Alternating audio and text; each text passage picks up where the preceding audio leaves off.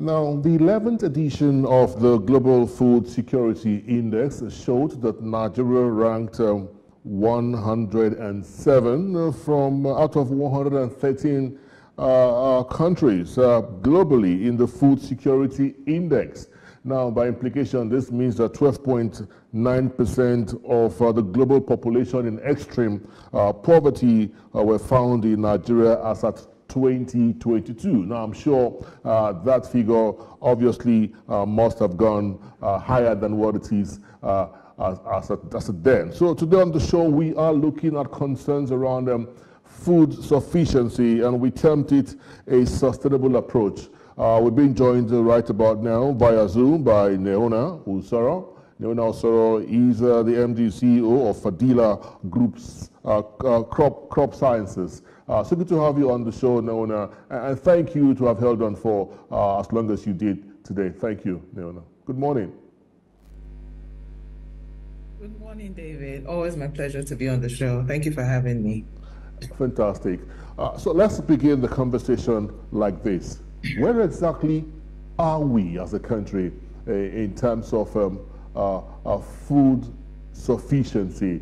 Uh, I know many would want to want to wonder if we have attained any form of food sufficiency uh, with the series of lamentations around um, hunger uh, that is uh, that could be heard as palpable across the country. Uh, but then, where are we in this index right about now? David, you know where we are. I mean, look around you, every day in the news um, there isn't enough. That's where we are. Simply put, uh, we can banter data, we can banter number numbers, but the fact is we are not producing enough. Um, so that's where we are. That's where we are, mm. and we need to begin to look at how we can transition, how we can improve our productivity um, as a nation. If not, we will we will continue to to to be discussing this topic. I remember it was September last year when I was on the same show, and I think we were discussing, and I and I stated that by January, February, I predicted that there was going to be a significant increase in food um, prices. Um, um, I also, you know, predicted that. Um, well, I stated that if we do not strategically um, focus on dry season farming and supporting farmers during the dry season, that it's going to continue. The food um, inflation would continue for a couple more months, and that that's where we are today. So this is where we are, David. Well, it is indeed a sad place that we seem to have found ourselves. Uh, uh, it seemed to be uh, in a sad place. Now, you did, you did, you did one. I remembered. I still have uh, footages of that conversation. Uh, uh, however, the essence of, uh, of conversations like this is to keep, you know, creating awareness, creating awareness to the managers of our economy, creating awareness on Nigerians on things that uh, they should take a lot more, more seriously. Now, there is hunger in the land. There is food scarcity in the land. of course, it's not a standalone uh, conversation. It is, uh, you know, premised on several other fundamentals uh, that we just might even look at uh, today on the show. Uh, but then, like I did say initially, we are looking for a more sustainable approach. It is evident that um, whatever approach that we have uh, given to agriculture or to food or farming in Nigeria is not working. It's not working. We, we seem to be, we're held on a spot.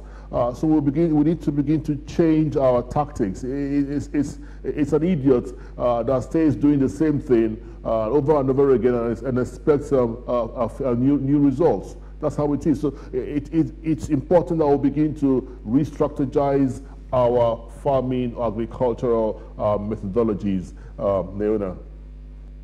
I, I totally agree with you. So yes, we have obvious challenges and in the segment just before this, um, you know, your Ben Bruce, he listed out a couple of the challenges. We do have those challenges, obvious challenges, that, that goes without saying. But then let's talk about the huh? the challenges that are not very obvious, and it, it it's it, regarding the approach that we have over the years used. Um, and, I, and I like that you asked this question, and I like the topic for today because it focuses on solutions, not just you know discussing challenges. So this is where we are. I think we have erroneously gotten it wrong.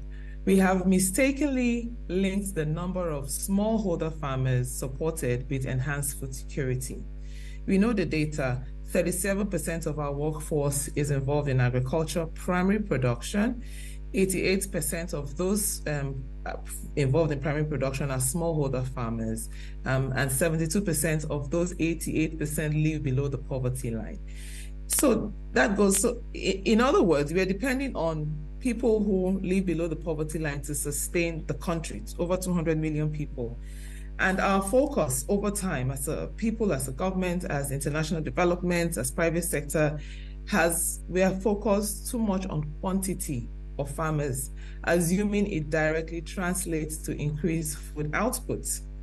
However, the real drivers lie in factors like land size, rich soils, efficiency and productivity practices that we incorporate. Simply, simply put, we have having more farmers doesn't necessarily equate to more food. In developed countries, in developing highly higher developed countries, the the percentage of the workforce involved in primary production is small. Like, um, okay, let's see America. I have that data here. So it's less than 2%. And that 2% is responsible for feeding over 300 million people and having enough to export whereas ours is, like I said, 30, 36.5%. I think it's time that we shift our emphasis towards the quality of agricultural practices so that we can, if we want to truly enhance food, food production. Um, you know, we have the goal, we have realized from what is happening that rather than livelihood enhancements, the goal should be food security. So in M&E, monitoring and evaluation, we have this concept, we have this tool that we use. It's called the theory of change. What it does is li- it links intervention or project or activity. It links the it links it to the outputs or outcome, then outputs, and then the objectives and then the impacts. So the overarching um, objective here should be food security. And whereas in our case, we have put farmers' livelihood as the overall objective. But from what is going on now, we have seen that that doesn't necessarily equate to food security. So what I think is we should do is switch it. Let food security be the overarching objective. Let that be the impact. And then we as a people will determine what steps we need to take and how we need to also ensure that farmers' livelihoods are taken care of to reach the food, to, to attain food security. We know let me paint two scenarios for you just to you know give it a, you know bring life to it. Um, we have a group of 10 farmers smallholder farmers who have come together and formed a small business and they've been able to access 100 hectares right? We have 10 farmers accessing 100 hectares. They want to cultivate soybeans um, they've done they've invested in um, you know developing the land topography. They've done some investments in soil testing. They've engaged with um, Seed Council to ensure that they get good seeds. If you, David, are a financier, an investor, a funder, right, would you support them? The second scenario is a group of 100 farmers with 50 hectares here and there, scattered, fragmented, half an acre here, half an acre there. And they, they're also seeking investments, each individual farmer which of these groups of people would you likely help? So, because our focus has been on farmer livelihood, the focus has been on helping the most number of farmers, you know, at the expense of food and at the expense of food production. The the the group of 10 farmers would have produced, because of all the practices that they've incorporated, would have produced sufficiently. They would have utilized the 100 hectares sufficiently to produce, you know, at, at maximum yield. But if your objective is supporting um, the number of farmers, which is what a lot of international development and even governments have focused on, um, so that's where we're getting it wrong, and that's where we're not having that. That's why we're not having significant investments. Look, when we have enough food, That translates to increased economic activities and contributions, significant contributions to our gross domestic products. Imagine a scenario where we are able to achieve some sufficiency in a crop like soybeans, right? Investors would see the opportunity, set up soy processing factories, set up soy mills. That would help create jobs, that would stimulate economic activities in the area where that factory is set up. So you can imagine if we then do that for soybeans, for rice, for sorghum, for wheat, you know, ensure that we are not just supporting farmers for the sake of the numbers.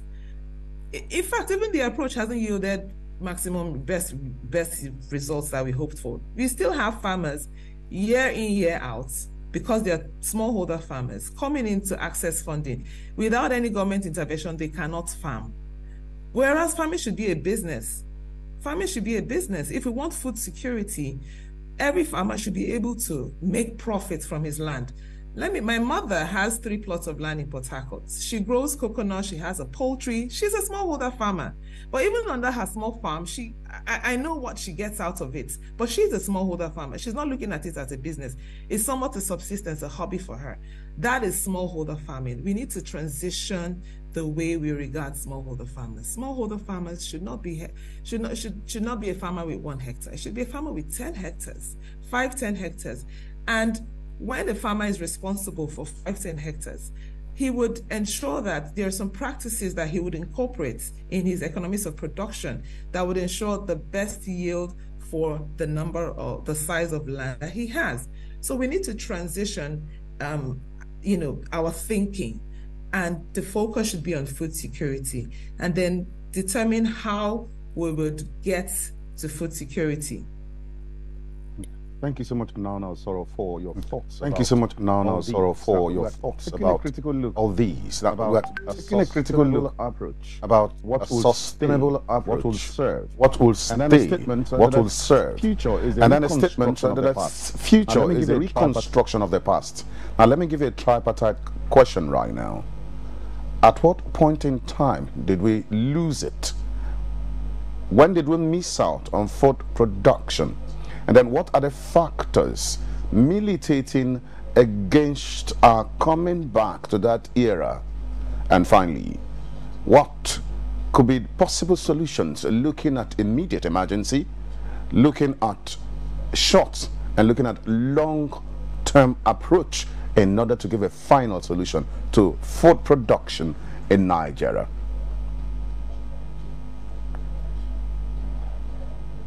Okay, where we missed out. Um, where we missed out is our inability to to be efficient. We've continued the same old practices that we've used we used in the 80s. Our rate of production has not kept pace with our population growth. So we're still using the same practice we used in the 80s to feed, um, what was the population in the 80s? I'm not very sure, but that's the same practice that we're using. We have not modernized. We have not, um, mechanization is a far reach. Most farmers don't have access to mechanization services. Um, infrastructure has also not kept pace with the rate of population growth. We are still using, I mean, post harvest losses is a huge problem. From the time I was little, We've been using these um, sacks to transport oranges from the north, from the middle belt to the south. And by the time it gets to the south, half of the oranges are ruined. Whereas there are other ways to transport these oranges that will ensure that at least spoilage rate is less than 10% or 5%. We are still using the same baskets to transport tomatoes, to transport pepper. By the time it gets to its destination in Lagos, in the south and the west, it's half of it is already gone bad. So transportation um, infrastructure is a significant problem. Storage is a significant problem. When farmers harvest during the rainy season and um, they don't have access to dryers and they just store their products, that's a significant loss for the farmer. So cold storage is important, particularly for our vegetables, the way we transport our products. Um, you know, so the if transportation infrastructure is a major problem, and that's why I say agriculture, a sector like agriculture cannot develop in isolation. We need the cooperation of Ministry of Transportation, Ministry of Water Resources, irrigation again. You know, we need the cooperation, the synergy between all these ministries, all the sectors to work together to achieve a, a common objective or a common goal. Um, so you know, when there is there's no synergy and the infrastructure, like I said, hasn't kept pace with the population growth and the demands of today, then that's where we got, got it wrong. We did not develop. I mean, when you're growing up, you know, there's things you can do when you're five year olds. You can't continue to do them when you're 10 year old. So we need so we haven't we haven't grown up. That's you know simple in simple terms, we haven't grown up. Um, and then, you know, we're expecting that using the same method or approach that we used 20 years ago will solve today's challenges. When we have access to precision, we have access to tools and resources that can enhance our yield. We have not invested enough in land development for agriculture. We've not invested enough in soil fertility enhancement. We can, through um, soil, through organic amendments or specialized fertilizers. We don't conduct regular soil testing for nutrient management. We've not invested in the land topography that to make it suitable for agriculture. How then can we produce enough to feed us? How then can we produce enough to feed the industries that we need? In my opinion, we have too many people involved in agriculture we need to transition those workers to industry. And the only way to do that is to show up our food production, attain food security. Then we now have investors who are willing to invest in mills, in processing plants, and that would create more employment, increase, uh, uh, you know, increase skills. We have a lot of young men being unproductive it, you know, so in terms of the workforce, the workforce is there. So we need to transition. And the only way we can transition is improve the efficiencies in the agri sector. So you say, um, what was your next, question, your second question, please? I said, what are the factors militating against our going back to that era where uh, food production was huge? So we don't want to go back to that era. We want to move forward. Our eyes should be forward thinking because going back to that era just means uh, you know, it, it, it's it's taking us back. We have better tools now. We have um, better technology. We, I mean, we have you know satellite uh, tools that can be used to determine what parts of the soils are more um, fertile, nutrient rich. We have all those tools. Uh, we have drones to to monitor security, to monitor uh, to monitor the crops. We need to we need to modernize. We need to modernize um, whilst retaining our you know local knowledges but we need to modernize. That's the only way we can sustainably achieve food security. If we continue the way we are going we will still continue to have this these challenges these issues. So it's a myriad of problems that have that, that's not just agriculture. Like i said irrigation facilities we need more of that. And that's uh, our ministry of water resources that that needs um, cooperation with the Ministry of Water Resources, infrastructure as well. Um, we are still using, you know, road transportation when trains would have been much more efficient to transport food around the country. So there's a lot of challenges, um, but there are solutions. And in the short term, what we can do is help farmers to consolidate um, in, incorporates modern practices, soil testing, fertilizer blending specific to what the soil requires so that the soil can be enhanced or enriched, um, helping farmers land, to develop land and make it equitably accessible for smallholder farmers. Like I said, bring farmers together, let farmers, let the smallholder farmers begin to act like large scale or medium scale farmers. Um, you know, the more contiguous land we can produce on, the better that would also help with um, the, the feasibility of mechanization. So these are the areas that we can do in the short term.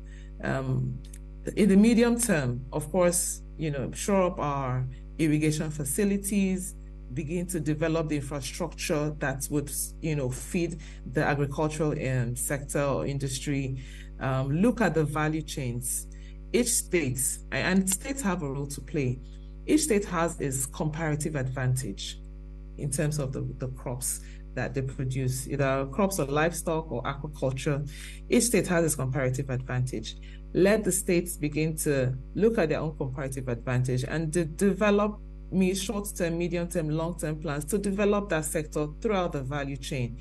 And then look at the general problem, which is infrastructure, you know, that also we can so we can look at the, the general problem that affects all states and then we can look at the value chains um, as it affects each state. So let the states determine look this is our comparative advantage. This is the value chain we want to focus on and develop and begin to map out plans.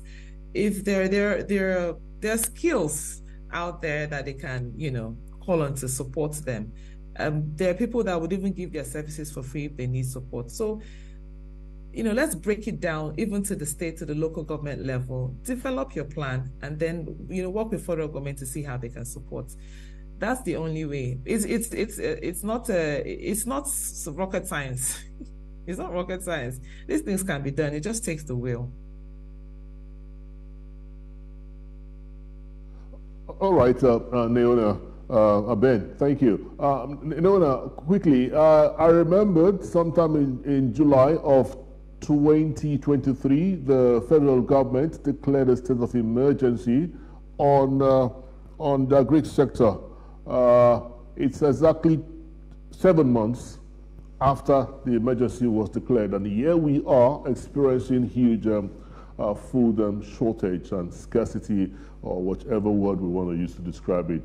Help me understand what was not done right, rightly in, decla in declaring a state of emergency, what should have been the components of, of the declaration? Seven months is enough for us to have uh, been able to develop certain sectors within, within the agri sector and produce uh, quite a number of food uh, for Nigerians. Uh, I don't know, no. Is it enough to declare a state of emergency?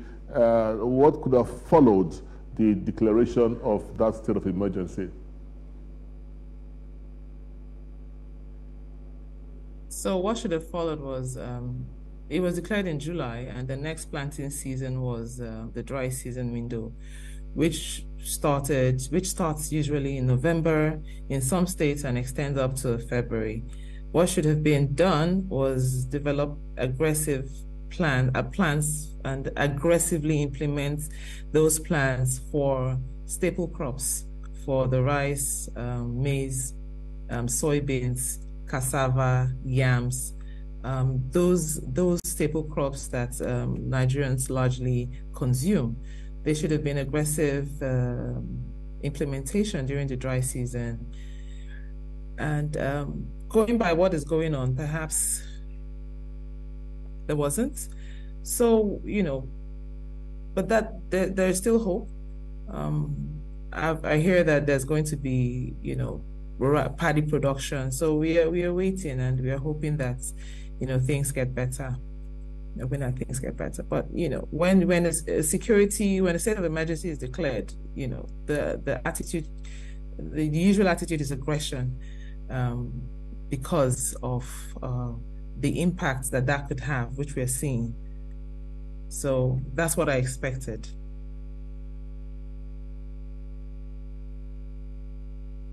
Down. Uh, you know, we are prone to flooding again, though we've not heard the weatherman uh, uh, recently. But then uh, we experienced um, a situation where farmers were forced uh, to begin to harvest their crops uh, halfway. and then that, that, that didn't spell well for us as a country. Does this also bother you that now the dry season is gone, now we are going into the wet season, which comes with its pros and its cons? Uh, have we been able to identify how we can maximize uh, the season? So yes, I mean, climate change is a threat, uh, but there are mitigating activities that can be done. We could, first of all, we could, you know, conduct a vulnerability mapping. Where is most likely to be, where is most um, flood prone?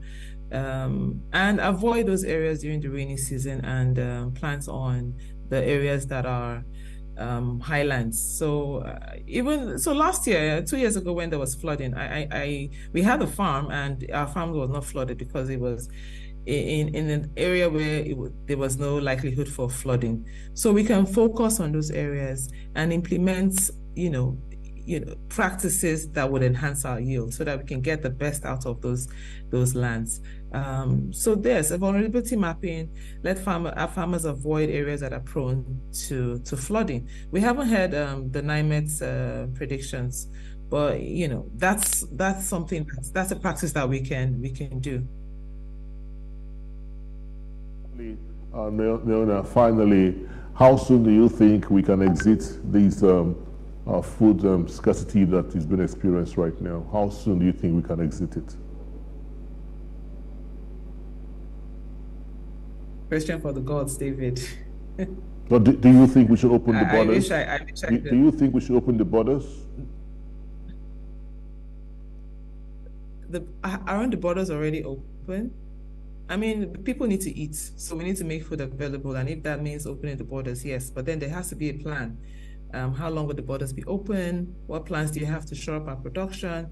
There has to be a plan. Um, when we do things without plans, we see, you know, it, it, we spiral out of control, and the impact is dire. So there needs to be a plan. People need to eat, um, and there needs to be a plan to shore up production. So if opening the borders would would would um, uh, provide food for people it's something it, can, it cannot we cannot say you know it's not something that we can avoid so but let us have a plan to how we'll exit this crisis that we found ourselves thank you so very much Naomi Osoro. it's a pleasure having you come talk to us on on news on thursday uh, Nayona is uh, the MD CEO of Fadila Crop Sciences. Uh, She's based in Abuja. Thank you, and do have a great day. Eh, are the rains down in Abuja right now? Because the rains are down in Lagos. Yes, it rained early this morning, so we're we're enjoying the cool breeze. Okay. we're enjoying it. Thank you so much. Fantastic. So it's confirmed. It rained in Lagos today, in Port Harcourt this morning, and as well as Abuja. Uh, okay, so maybe it was uh, uh, across a national rain uh, in, in Nigeria today. Thank you so very much, Neona. Enjoy the rest of your day.